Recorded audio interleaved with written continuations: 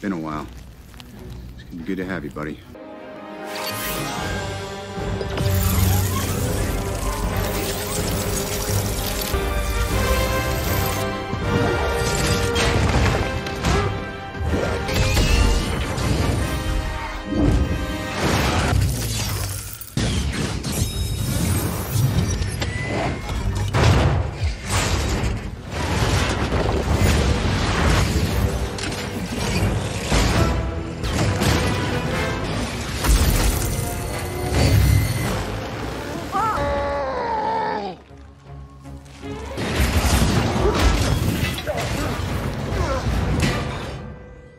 Hey, man. What is this guy's problem, Mr. Stark?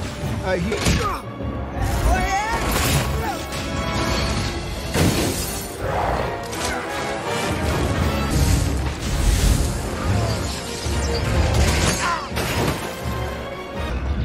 Your powers are quaint. You must be popular with children.